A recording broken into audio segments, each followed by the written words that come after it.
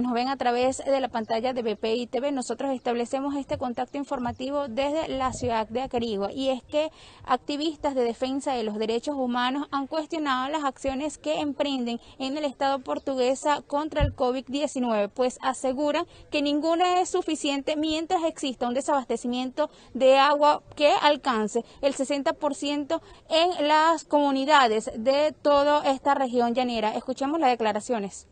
En el Estado portugués hay comunidades que no reciben el servicio básico del agua potable desde hace más de 5 años, por ende, saneamiento y calidad de vida en sus hogares. El agua es un derecho humano de segunda generación y elemento principal del objetivo número 6 de la Agenda 2030 de Naciones Unidas. Con la llegada de la pandemia del COVID-19, las medidas implementadas por el gobierno nacional no son suficientes si no contamos con este vital líquido en nuestros hogares para mantenerlos aseados y poder lavarnos las manos.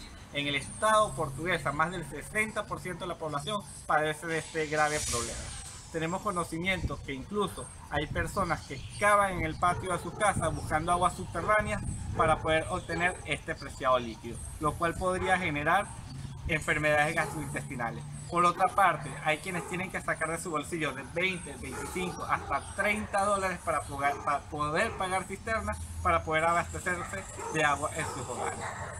Aunado a esto, las fallas en el servicio eléctrico, los constantes bajones, han generado fallas en los equipos, de, en los pozos y las bombas de agua, lo que solamente ha hecho que se incremente este grave problema es una responsabilidad y una obligación ineludible del Estado garantizar el bienestar, los derechos humanos y la calidad de vida de los venezolanos. Por lo tanto, de la Red Unida de Activistas de Derechos Humanos del Estado portuguesa, exhortamos a las entes competentes y a las autoridades competentes a resolver lo antes posible este grave problema que nos afecta a la gran mayoría de nuestra población. Bien, según lo que afirman las organizaciones de defensa de los derechos humanos, las personas que habitan en eh, tanto en las ciudades de Acarigua como de Araure incumplen la cuarentena obligándose a salir de sus viviendas para buscar el vital líquido en otras zonas de sus comunidades. Con esta información nosotros nos despedimos invitándoles a que sigan en sintonía de la señal de BPI TV. Les reportó María Ángel Moro Colmenares.